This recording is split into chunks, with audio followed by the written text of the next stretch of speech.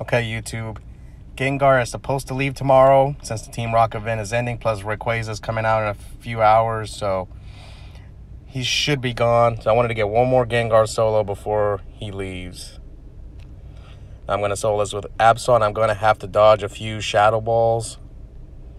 I just need to work on my dodging. I, I don't really dodge too much. And this is a pretty tough one. As far as deaths go. Okay, dodge that one. I don't know. I think I'm not going to dodge more than two, so now I'm just going to spam it out. It's hard for me to record and um, and talk at the same time. Oh, he went down. I couldn't dodge that one. It was too late. Damn, the thing hits hard. Okay, I need to be careful.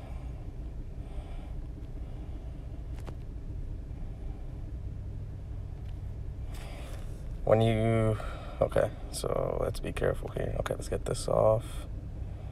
Each Absol needs to survive 30 seconds and then I won't dodge anymore. So I'm not gonna dodge with this one anymore. Okay now I'm on my third Absol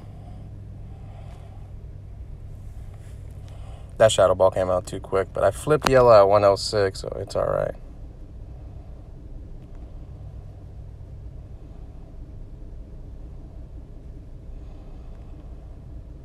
Okay.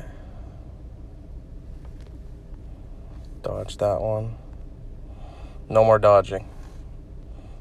This thing's gonna need to finish me off with the next shadow ball.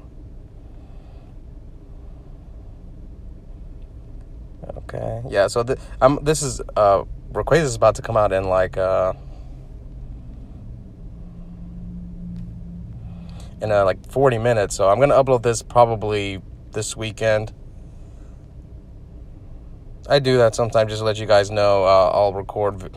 I like getting all my recordings done, and then I uh, usually upload them like a few days later. Sometimes I have like a bunch of old videos and I'll upload them. Maybe I'll upload them like on Thursdays or something for Throwback Thursday.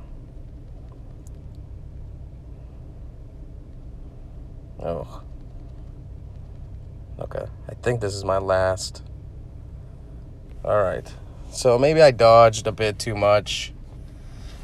I was on Pokebattler and uh, it, was supposed to take me all six of my Absols to beat this raid without fainting.